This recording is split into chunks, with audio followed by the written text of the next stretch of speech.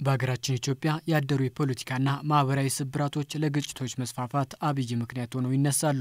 እነዚሁ ስብራቶች የሚፈጠሩ የሀሳብ ልዩነቶችን በምክንያታዊነት ለመፍታት ከመሞከር ይልቅ በስሜታዊነት መፍታትን ያነሳሳሉ።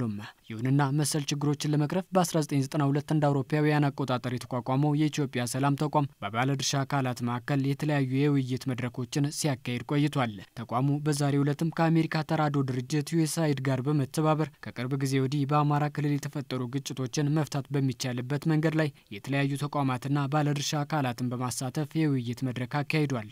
በመድረኩ ንግግር ያደረጉት የሰላም ግንባታና ብሔራዊ መግባባት ዘርፍ ሚኒስትር ዴኤታ ዶክተር ከይረዲን ተዘራ መንግስት የግጭት መንስኤዎችና መፍታት በሚቻልባቸው መንገዶች ላይ ጥናቶችን በማድረግ ላይ እንደሚገኝ ገልጸዋል። ችግሮቻችንን ቁጭ ብሎ ከመነጋገር ይልቅ ችግሮቻችንን በሌላ መንገድ በኃይል ለመፍታት የምናደርጋቸው ጥረቶች ሀገሪቷን የእድሜዋን ልክ ያህል የተረጋጋ ፖለቲካ፣ አካታች እድገት ለህዝቧ ሰላምና ብልጽግና ለማምጣት ስትቸገር እናያለን።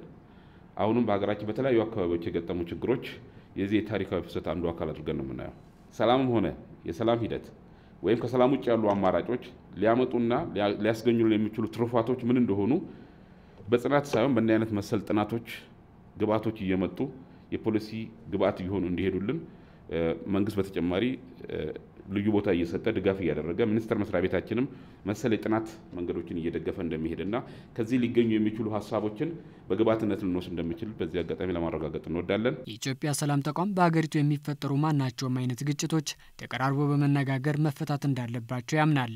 በመሆኑም በአማራ ክልል ከቅርብ ጊዜ ወዲህ የተፈጠሩ አለመግባባቶችም በዚሁ መንገድ ሊፈታ ይገባል ሲሉ የተቋሙ የቦርድ ዳይሬክተር ዶክተር ሙልጌታ ይተፋ አሳስበዋል። ጦርነት ችግራችንን ስለማይፈታ በጦርነት ሳይሆን በንግግር እንፍታ የሚል ሁለቱም ወገን ማመን አለበት። ሁለቱም ወገን ካመነ ቁጭ ብሎ መነጋገር ይችላል። ቁጭ ብሎ ከተነጋገረ ደግሞ ሶሉሽን ይመጣል ማለት ነው፣ መፍትሄ ይመጣል። የአይነቱ መድረክ የሚፈጠሩ ችግሮችን ጉዳት በማያደርሱ መንገድ ለመፍታት ያግዛሉ የሚሉት ደግሞ የአማራ ክልል ሰላምና ጸጥታ ቢሮ ምክትል ኃላፊ ደጀኔ ለምን ናቸው። ምክትል ኃላፊው አክለው የአማራ ክልልን የጸጥታ ሁኔታ ወደ ነበረበት ሰላም ለመመለስ ዘርፈ ብዙ ስራዎች መሰራታቸውንም ገልጸዋል። ባለፈው ክረምት ከሐምሌ ጀምሮ በተፈጠረው ችግር በርካታ ችግሮች የተፈጸሙበት ነበር የነበረው አሁን ላይ ግን ጠቅላላ ማህበረሰባችን በማሳተፍ አመራሩን በማሳተፍ የጸጥታ መዋቅራችንን በማሳተፍ ወደ መረጋጋትና ወደ ሰላም እየተመለሰ ያለ ክልል ነው ብሎ መውሰድ ይቻላል። አሁን ላይ ከቀደሙ በጣም መሻሻል ያለበት አመራራችን በቁርጠኝነት የሚሰራበት የጸጥታ መዋቅሩ በቁርጠኝነት የሚሰራበት ነው ብሎ መውሰድ ይቻላል።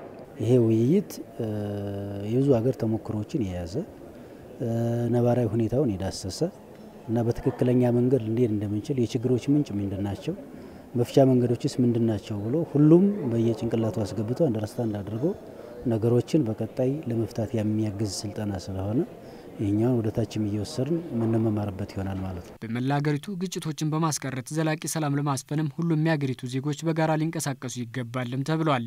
በተለይም የሃይማኖት አባቶችና የሀገር ሽማግሌዎችም ሚናቸውን ሊወጡ እንደሚገባም ተመላክቷል። ሰላም በዋነኛነት መነሻው እያንዳንዱ ግለሰብ ነው። ሁላችንም ስለ ሰላም ካልቆም ከመንግስት ብቻ የሚጠበቅ ሰላም የለም፣ ከህብረተሰቡ ብቻ የሚጠበቅ ሰላም የለም፣ እንዲሁም ከመንግስታዊ ተቋም የሚጠበቅ ሰላም የለም። ሁላችንም በአንድነት ለሰላም ስናስብ ብቻ ነው ሰላም ከባህሪው ከሁለንተናዊ ባህሪው በተመነጨ መንግስታዊ፣ መንግስታዊ የሆኑ ተቋማት፣ የሃይማኖት አባቶች የሁላችንም አስተዋጽኦ ግለሰባዊ፣ ቤተሰባዊ፣ ማህበረሰባዊ እንዲሁም ሀገራዊ እንዲሁም ዓለም አቀፋዊ ሰላም ሊያመጣ የሚችለው መንግስት አሁንም ድረስ ለሰላም መደፍረስ ምክንያት የሆኑ ኃይሎች ወደ ሰላማዊ መንገድ እንዲመጡና ሀሳባቸውን በሰለጠነ መንገድ እንዲያንሸራሽሩ በሩ ክፍት መሆኑም ተመላክቷል።